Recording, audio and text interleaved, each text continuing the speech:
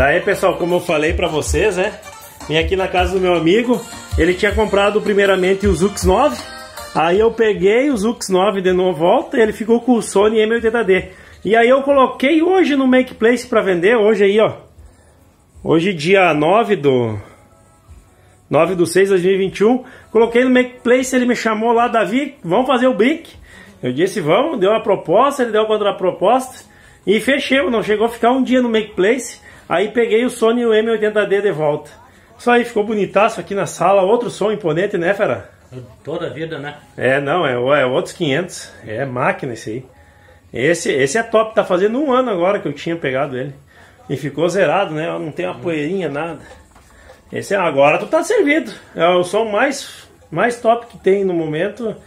Vamos esperar ver se vem lançamento para trazer pro canal, mas é o som mais top das galáxias do momento. E é máquina, senão não tinha ficado um ano com essa máquina aí. Valeu, pessoal! pessoal, beleza? Ajeitei aqui o VL 1600, 1200 tá aqui. Cara, ficou top, pessoal. Eu coloquei aqui naquele rack que eu tinha feito. Como eu disse, o CL98 você foi, né?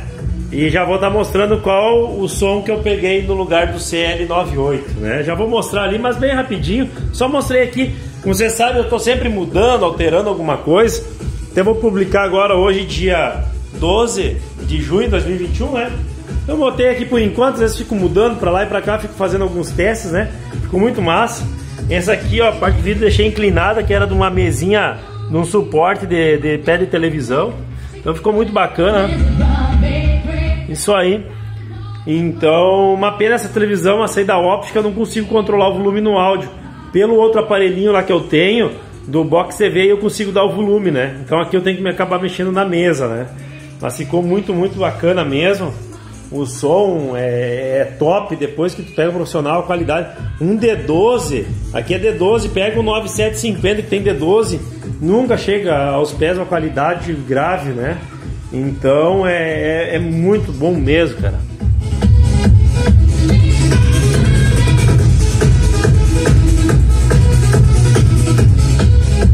Na Eurodance para não dar os direitos autorais, né? É isso aí, pessoal. Vou lá mostrar qual é o som que eu peguei e por que, que eu peguei esse som. Tô indo ali na sala agora. Fui! Aqui é a televisão da Sony, né? Então agora eu vou mostrar aqui o som que eu peguei, né? É! Esse aqui, ó, tá na função modo demonstração, fica dando essa musiquinha, ó. Fica essa musiquinha. Botei as caixas azeitadas, esse é o Sony o M80D. Esse é o mesmo que eu tava esses dias no canal. Aí o que acontece? Lembra que eu falei que eu ia vender o CL98? Eu botei lá no Make Place. Na mesma tarde, o meu amigo gosta de trocar, porque esse que comprou, ele tinha comprado o Zux. Aí eu peguei o Zux de volta e ele ficou com esse M80D e me voltou o dinheiro. Agora ele olhou a publicação e me mandou mensagem: Davi, vamos fazer o brick. Tu pega o teu som que, que tu me vendeu de volta e eu te dou mais um tanto. E aí eu dei a proposta, ele deu a contraproposta dele e fechamos o brick. Já levei o CL lá na casa dele, como vocês vão ver aí o, vão ver o vídeo aí. E aí peguei o, o M80D novamente, né?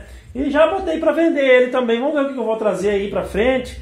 Não estou pensando muito em investir porque o investimento é muito alto e o retorno muito pouco, né? E fora que aparelho minicisse e mais lançamento não teve. Já faz Tá fazendo um ano, essa semana fez um ano que eu tinha, que eu fiquei com o CL98, nunca fiquei tanto tempo direto com o aparelho, né? Fiquei um ano aí com o CL98 e infelizmente até agora não foi lançado nada. Comprar som menor, eu de três caixas não gosto, como já estou mostrando aqui, ó. Fica sempre uma caixa perdida. Se fosse quatro caixas, você fecha o conjunto ou faz a torrezinha. Eu sou um de três caixas, até se fosse preferível, eu preferia ficar com o M60D do que o 80D. Fica uma caixa sempre perdida. É as caixinhas pequenas, então investir em som muito pequeno uh, não é muito importante para o canal. O pessoal não dá tanta visualização quanto os grandes. Né? Vou ver se vou trazer alguma torre. Eu vou fazer, vou vender esse aqui mais para frente. Botei ele para vender, estou aberto sempre em negócio. O problema é aqui na minha região é esse tipo de equipamento é difícil de vender, é difícil de você achar para comprar também. É sempre os meus os que tem aí são os que eu acabo vendendo sempre, né, para os amigos, né, pessoal. Mas o resto ele é bem bonitinho, uma pena o grave inicial dele, um grave muito seco. Então é um som de apartamentão mesmo, né? Um som, um som da Sony versão Nutella para você ter ali. Ele é alto, ele tem uma qualidade boa para assistir filme, instrumental ele é muito bom mesmo, o médio agudo é bom. O grave dele é aquele gravezinho suave, mas não desce aquela frequência de estremecer a casa do vizinho, né?